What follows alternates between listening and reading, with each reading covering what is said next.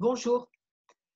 On sait bien qu'on est des êtres spirituels. Si vous regardez des chaînes de développement personnel, c'est clair que cette idée ne vous dérange pas plus que ça. Au contraire. Donc, on est des êtres spirituels, mais combien de fois dans notre journée on y pense, on s'en inspire, on l'incarne? La plupart du temps, on est toujours en train de courir autour de tas de problèmes, de faire des associations d'idées sur ceci, cela, et d'être partout, sauf dans notre conscience plus profonde. Une petite image pour aider à s'en rappeler. Et elle m'aide pas mal en ce moment, cette image, j'aime bien. Voilà, nos sept corps spirituels, enfin nos six corps euh, subtils plus le, corps physique, on pourrait les voir comme une espèce de caverne d'Ali Baba avec euh, sept euh, pièces. Le corps physique dont on connaît déjà tellement peu de choses et qu'on a plus tendance à se dire bah, est-ce qu'il est bien habillé, est-ce qu'il est bien. et à dire est-ce que je suis bien habillé, comme si je n'étais que ça. Est-ce que ceci, est-ce que cela? Et, et surtout, on s'en occupe surtout quand il va mal. Pas très bonne idée. Hein, l'idée, c'est d'aller bien. Donc, notre corps physique, dont on effleure déjà que la toute petite partie de ses potentialités, et les six autres qui sont certainement encore plus élaborés. D'accord? Les corps subtils qui sont encore plus élaborés. Et par-dessus le marché, au lieu de voir la beauté de la vie à l'intérieur de ces sept corps, y compris le corps physique, hein, qu'on est toujours en train de comparer à, à d'autres, être trop gros, trop maigre, trop petit, trop grand. Ok, on est toujours en train de, l'embêter, quoi, en gros.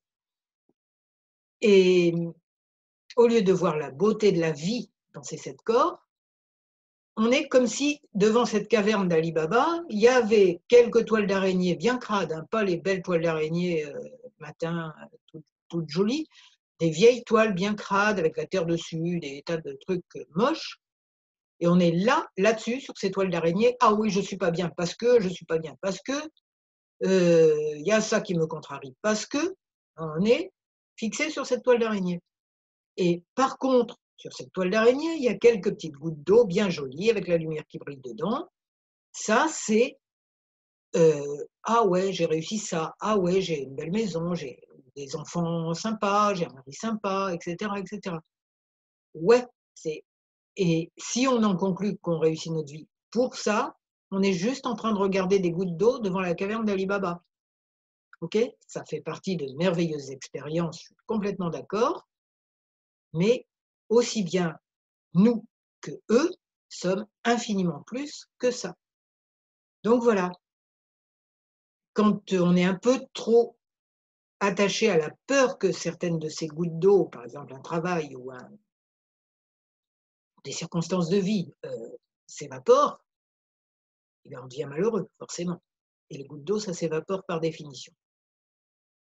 Même que les gens qu'on aime passent dans un autre plan, ou nous, enfin bref, on, on se retrouve dans des plans différents, ça fait partie de.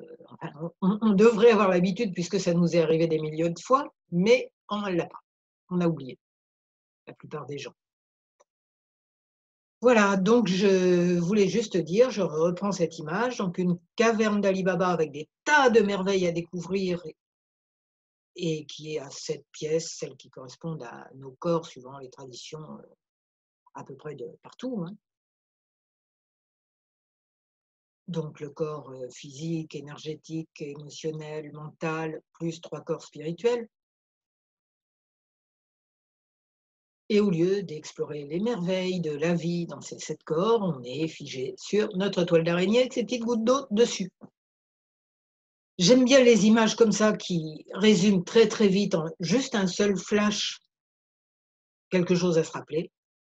Donc si cette image vous inspire aussi, vous mettez un j'aime, vous abonnez à ma chaîne YouTube, vous transmettez et aussi à ma newsletter de mon blog qui s'appelle J'aime le FT.